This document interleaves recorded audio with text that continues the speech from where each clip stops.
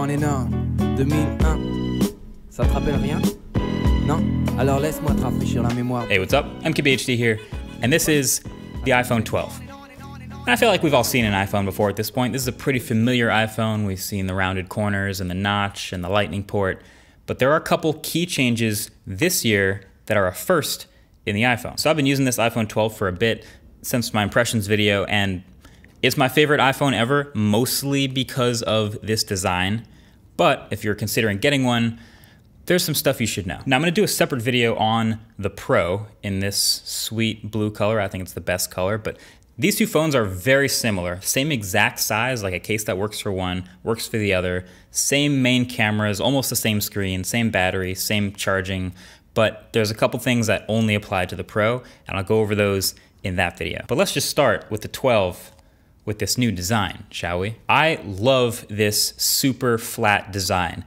It is so flat. It's not the typical almost flat where the screen is flat right up to the edges and then it curves over the very edge and they call it like 2.5D. No, this is flat flat. Like the phone happens to be a little bit thinner and a little bit lighter than last year, but I'm not as concerned with that. But the square sides are actually the most efficient way to pack in those internals into the phone as efficiently as possible. And I happen to think it looks and feels super premium and, and modern on top of all that. Now, this kind of red but also kind of salmon sometimes product red version. After seeing it in person, I'd probably not go for this. I'd go for either the blue or the black. But yeah, those aluminum rails are everything. They're more grippable, maybe a little less comfortable at first, but hey, the buttons are clicky, the power button is a little bit bigger, it's still IP68 water resistant. You've got your 5G antenna cutout on the right hand side in some regions, which trust me, I'll get way into that in a second. And yeah, I just like holding this phone. Now, if you put a case on it, I guess a lot of that doesn't matter as much. You'll notice it less, obviously, but still, even some cases are flattening out their dimensions for the iPhone 12. So that again will make it easier to grip, harder to drop. And speaking of dropping, all these new iPhones come with, on the front, something new called Ceramic Shield. And this is basically this specialty hardened kind of glass with crystal structure inside it, and it's on the front of these phones over the screen, and it's supposed to offer four times better drop protection. So, shatter protection, basically, which is great. But I typically care just as much, if not more, about scratch resistance, all the little micro scratches that your phone gathers over time. And the thing about scratch resistance is it's typically inversely proportional to shatter resistance. So if you think about it, the softer something is, the less likely it is to shatter, but then the easier it is to scratch it. And vice versa, the harder something is, the less likely you are to scratch it, but the more brittle it is and the more shatterable it becomes. So I see the headline of better drop protection, and that's great, but I'm not about to drop my phone to find out if it works. I'm sure people are already on that. I have no idea how they'll land on that 4x number, but all right. All I know is I already have a little gash in my screen on the left-hand side here, which is so sad, but that's probably at a level six. No idea how that happened, but I'm feeling like the iPhone is not significantly more scratch resistant than before. Of course, Zack will probably tell us the truth there. So if it shatters a lot less when dropped, we'll see. That would be nice. But I feel like a lot of the drop stuff is happenstance. Like if I happen to drop my phone a certain way, it's definitely gonna crack, right? And if I happen to drop my phone another way, it's probably not going to. So I don't know. I don't want to worry about too much. Use a case if you want to. Use a screen protector if you really want to. I'm just gonna I'm just gonna live my life.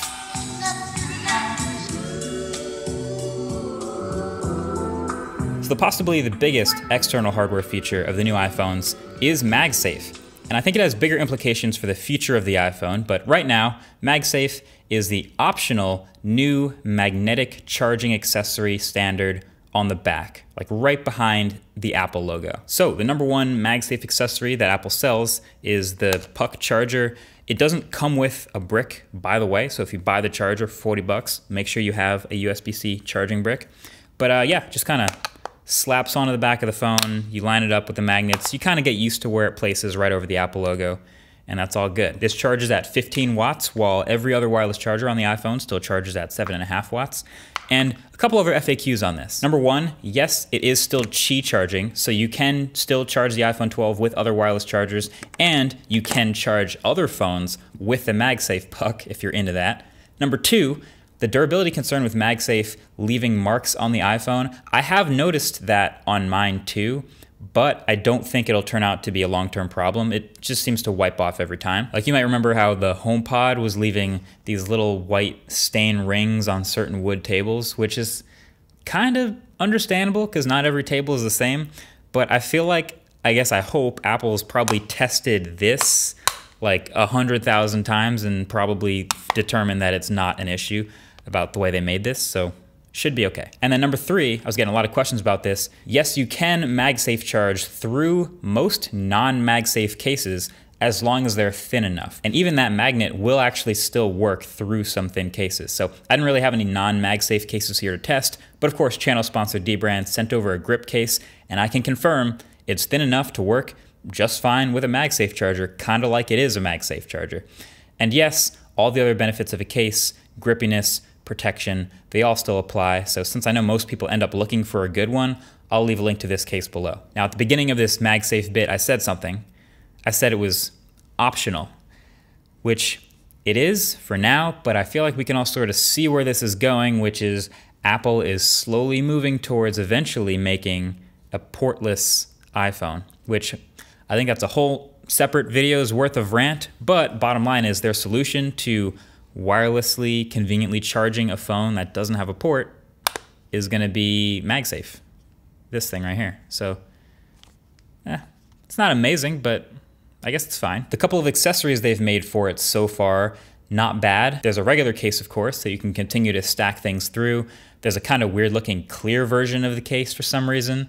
Uh, there's a, a wallet that I mentioned that doesn't have very strong magnets, but if you think about it, it's not so peculiar that the one accessory they chose to make outside of the case is a wallet. Like, let me know if there's any flaw in this, this series of logic, right? So, Apple wants to get rid of the port on the iPhone and go totally wireless charging for everything at a certain point. Maybe next year, whatever, right?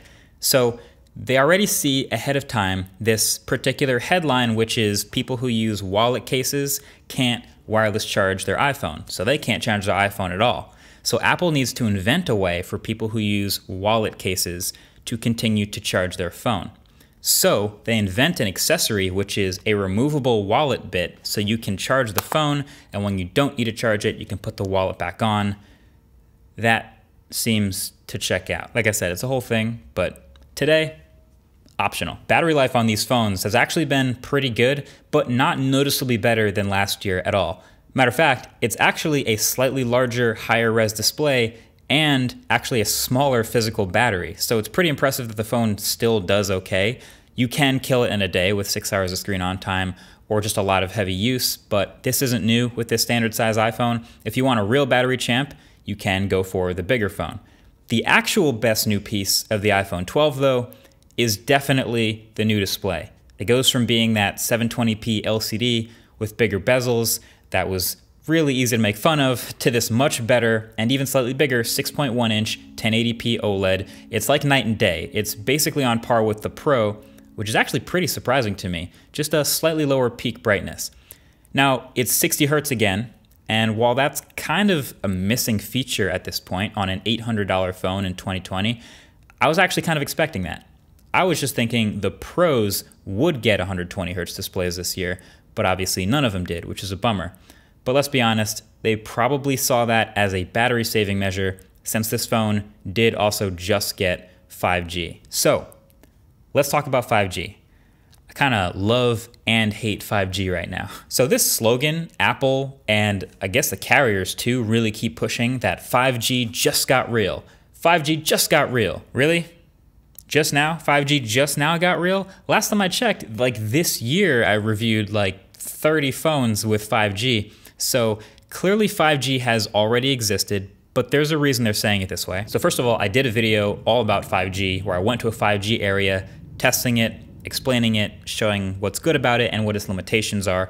I'm gonna leave it linked right below the like button if you wanna watch it, catch up on that. But the bottom line is it's really promising, but it's still being built right now. But carriers and I guess Apple really like the message that 5G just got real because now that all of the new iPhones have 5G built in, there's about to be millions and millions and millions more people walking around with 5G capable phones in a few very short months. And when that happens, that tends to accelerate development. That sort of makes it real, which I get it. But also, the carriers would very, very much like you to upgrade to their 5G plan, please. But we gotta remember 5G in 2020 has its ups and its downs. Like this iPhone 12 I'm using here has Verizon 5G, which is surprisingly actually in my area. It's not millimeter wave, it's not ultra wideband, but it can still give me roughly 20% faster download and upload speeds. But 5G radios are also pretty power hungry. And the more time you spend on 5G, the more battery you bleed through. Now, Apple's thought a lot about this, of course. So their solution, and you might have caught it on stage during the announcement, is called Smart Data Mode. And basically, it tries to only use 5G when you actually need it to save battery. So when you're in a 4G area, you're on 4G speeds, everything works with LTE, no problem. You're good. It'll feel normal. When you're in a 5G area, and you're doing a lot of bandwidth intensive stuff. You're downloading a bunch of videos and music, you're FaceTiming in crispy HD, you're doing a lot of that high bandwidth stuff. That's going to use 5G and that's going to improve that experience a lot. But if you are in a 5G area but not really doing anything that benefits from 5G, then your phone will actually switch off and stick with 4G. And as The Verge reported, it'll actually still show you the 5G indicator in the corner, but you'll get 4G speeds, which we'll probably fine, but that also explains this sort of weird speed test result. So look, my take is I get it.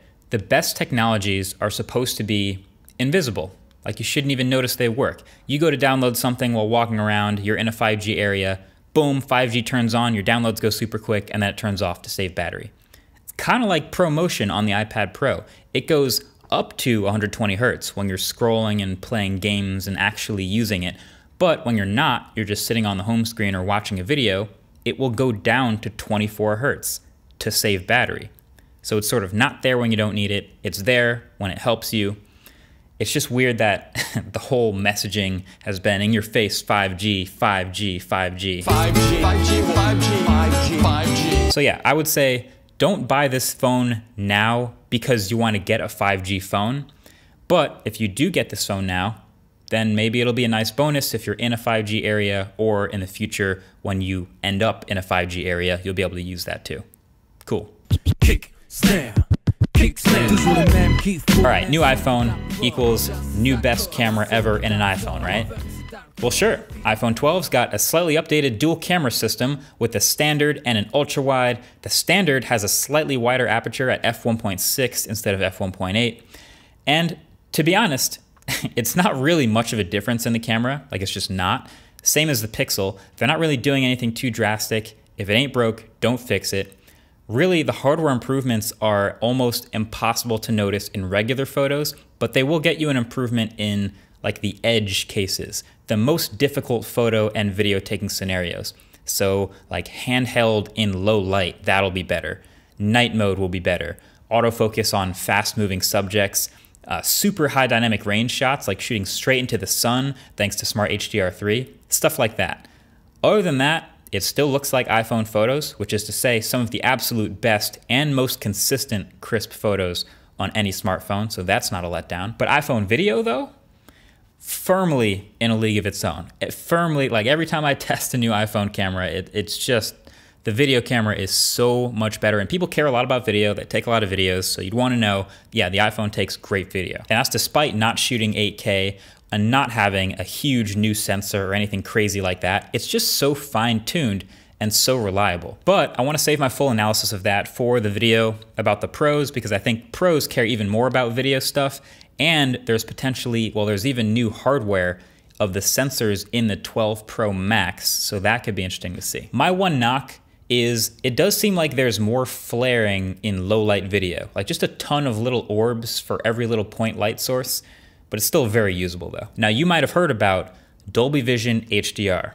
These new iPhones are the first cameras, the only cameras in the world to shoot 10 bit high dynamic range Dolby Vision 4K video and that's awesome. HDR video is awesome. Higher, brighter brights, deeper shadows, overall better images, even better perceived quality. I love HDR. But here's the thing Dolby Vision is just one HDR standard or format by Dolby, and there are other HDR standards that have been out. You might have heard of. HDR10 is one of them.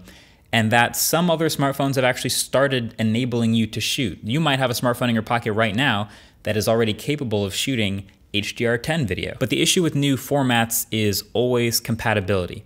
So some TVs are HDR10 certified, some aren't. Some displays are Dolby Vision certified, some aren't. So you can look at the display, the video you take on the iPhone, and it's Dolby Vision certified, and it looks amazing. And if you send this video to another iPhone 12, it'll look amazing on that iPhone.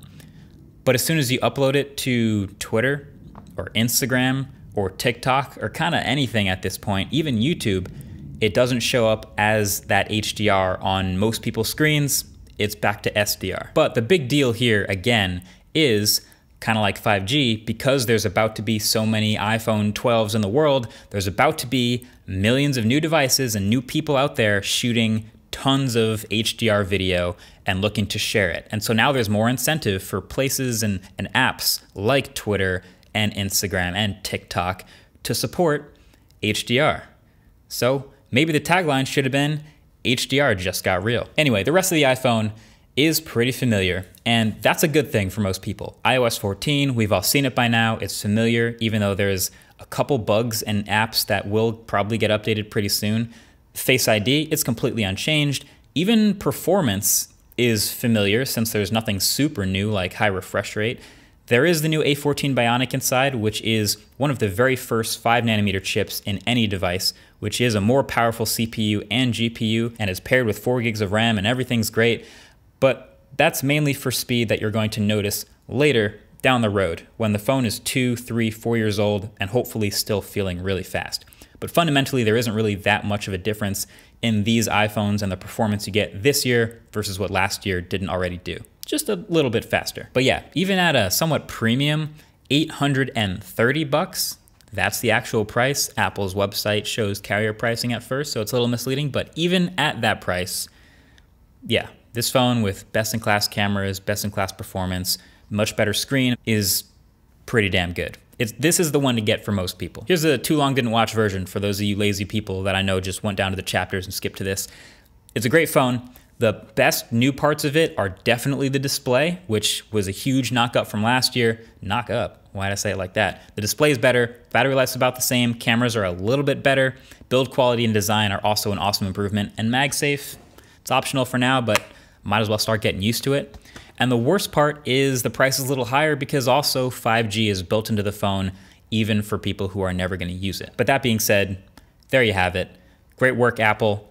And definitely stay tuned for the review on the Pro. I want to dive into what makes it a Pro. You know, as a as a YouTuber, I think a lot about this. As a content creator, am I a pro iPhone user? I don't know. There's lots to talk about there, but that's been the iPhone 12. Thanks for watching. Much coming up very soon, because you know, Techtober, guys. Techtober. Catch you guys in the next one. Peace.